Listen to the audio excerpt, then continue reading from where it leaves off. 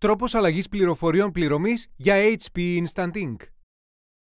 Αν θέλετε να ενημερώσετε ή να αλλάξετε τις πληροφορίες πληρωμής για το λογαριασμό σας HP Instant Ink, μπορείτε να το κάνετε μέσω της εφαρμογής HP Smart. Σημείωση. Ανάλογα με τη συσκευή που χρησιμοποιείτε, οι εικόνες που εμφανίζονται σε αυτό το βίντεο ενδέχεται να διαφέρουν από τη συγκεκριμένη οθόνη. Σε έναν υπολογιστή ή φορητή συσκευή, ανοίξτε την εφαρμογή HP Smart και επιλέξτε το εικονίδιο λογαριασμού. Όταν ανοίξει το μενού, επιλέξτε Διαχείριση λογαριασμού HP.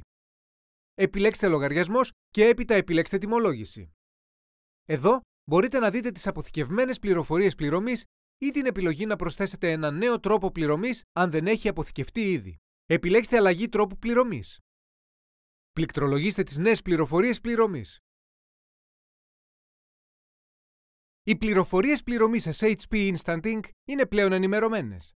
Για να μάθετε περισσότερα σχετικά με το πρόγραμμά σας Instant Ink, κάντε κλικ στην επιλογή HP Instant Ink στο αριστερό μενού.